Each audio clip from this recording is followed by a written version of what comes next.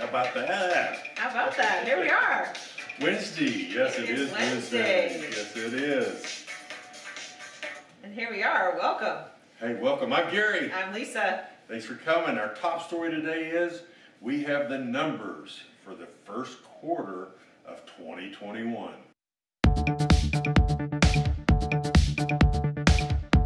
That's right. We have Q1 of 2020 to Q1 of 2021 ready for you. And as you can imagine, prices have gone up and days on market have gone way down. Yeah, I don't think, uh, you know, based on what our overview of the numbers were, I didn't see any big surprises there. Did you, Lise? Well, not based on how it's been trending. Um, a couple things that when the, the sold prices switched over 100% uh, was in third quarter of 2020, where we have now have the average sold price to the list price is over 100%. So things are closing uh, over asking, and uh, we've just heard some wild stories about that, as you can imagine.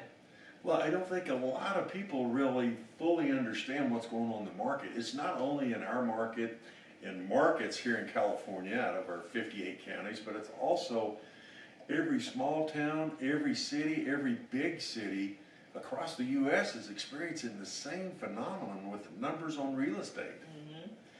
And we've had clients buying properties, of course, all over the country, and they're running into the same problems of multiple offers and things going over at in over asking in lots of markets.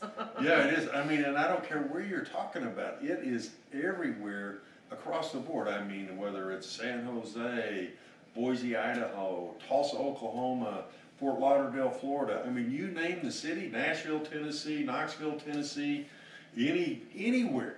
And they're having multiple offers, and it is very seriously a seller's market. yes, if you're ever thinking about selling a property, now's the time. I was looking there to see, yeah, we're live, huh? Yeah, so let's see. I talked to our people. Hi, Destiny. Just saying hi. How are you? So we have our chart here. You can get me my chart. Yes, let's Here's chart our it up. numbers Okay, so of Q1. hang on there. This doesn't Okay. always work out exactly right. So you can see here that I've This- got our numbers going on here, you can see them. So new listings is down about six and a half percent, which I can tell you the market feels like it's down a lot more than that. This is total number of listings in Ventura County from Q1 of 2020 to Q1 of 2021. It feels like it's down about sixty percent. Right. There we go. And then uh, we've got our average sold price here is up 14 and a half percent from about 754 to 864. Now, this is the whole County, quarter. the whole quarter. The whole quarter and the whole county. That's So right. even though when you get more specific in the county, it, the numbers do seem to jump out a lot more. There's a lot more movement, let's say in Ventura, Oxnard area, that's everything below the grade, versus when you get above the grade, there's less movement on price. Would you say? Yep, Yep, yep, okay, just checking. yep. And the number of listings too. So it's just, I, but I, I didn't do all the, ci- the cities here. There's not room on my board. Um, average days on market down 44% to 34 days. Median days 23. So you can see it's getting getting real tight here. There's a lot of people now that normally wouldn't offer all cash on a property that are, whether they're borrowing it from relatives or they're selling their home first and moving in with relatives and then coming in with all cash. Right. So then I did do a few of the cities here just so you can see the average sold price um, from first quarter last year to this year. So in Oxnard, 561 to 610, up 8.73%. Ventura, 732 to 873,000, up 19.21%. Uh, Camarillo, 675 to 785, up 16%. And then Ojai, 1,025 to 1388, up 35%. So that uh, there's some expensive homes that have closed that tend to skew that a little bit when they get over you know 10 million. It does skew the average a bit, but um, those are the numbers. But a new statistic I threw in today just to give you an idea. In the orange over here, I put the total number of active properties available in each of these four cities. And so in Oxnard, there's 68 properties, Ventura 60, Camarillo 52, and Ojai 33. Now that includes single-family homes and condos and townhouses, and that's it on inventory. Um, here in Ventura, in a balanced market, is about 150 properties for sale, and we're down to, whatever I said that was, 60 or so. So, Yeah, and as the numbers kind of stretch out a, a little bit, remember, we were in lockdown starting March twentieth of twenty twenty.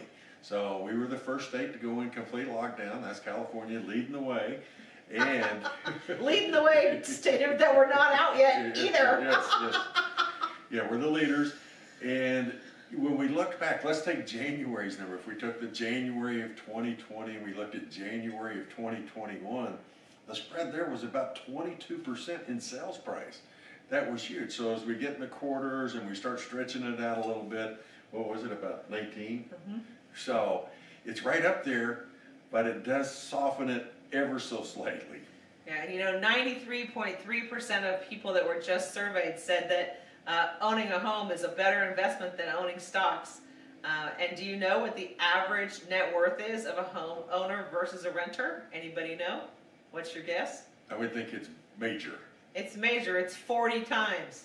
So a homeowner has forty times the net worth of a rent, of a renter. Uh, I saw another article that said some people that are able to are saving their stimulus money to go into their down payment kitty. So they are going to use their um, stimulus money to get ready to buy a property. Yeah, no, we're not bad mouthing stocks at all. I mean, there's, they definitely deserve a space in everybody's portfolio. But I mean, you know, th- there's only so many Teslas and only so many, when you put a thousand dollars in, it's gonna be worth, you know, forty thousand.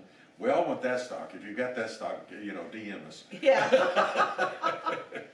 But, you know, to get started, to get things rolling, real estate's gotta be a part of it. It just does. And, it- and no matter where you're at on the spectrum, you need to own real estate.